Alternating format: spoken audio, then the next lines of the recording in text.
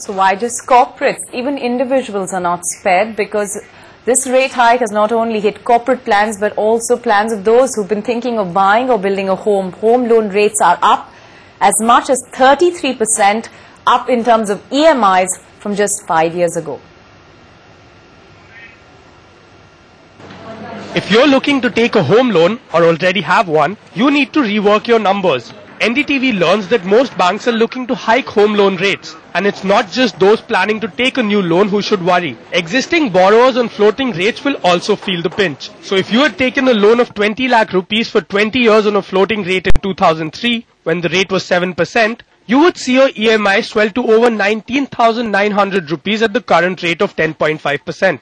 And if interest rates are hiked by 0.5%, you should get ready to pay over 20,000 rupees a month, which means your monthly payments have gone up by 33%. So what is the way out of this debt trap?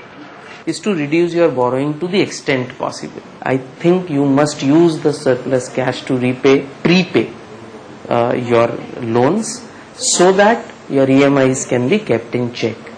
But this does not mean that fixed rate loans are any better because they come with a 2% premium over floating rates, which is steep. Consumers on their part can ensure that they are not charged rates higher than rates offered for new loans. Banks on the other hand could offer longer tenures to younger home buyers. Bank will largely look from the customer perspective on his ability to pay before extending that tenor retirement age, correct? Whether you'll have flow of income. So they're looking at taking up to the maximum eligible tenor for, uh, for a customer. These are tough times if you want to buy a house and more so if you want to take a loan for it.